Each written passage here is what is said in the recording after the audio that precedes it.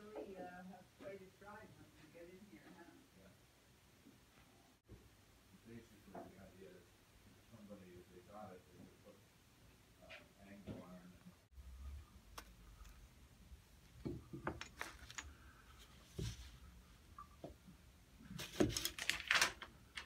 Start cutting into the clay to get, to establish the basic portrait and then work on it.